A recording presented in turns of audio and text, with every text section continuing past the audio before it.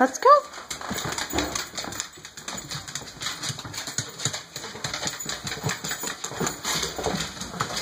Go on, Quinny. Ah, look at those Jack Jacks. Mom's posting pictures already.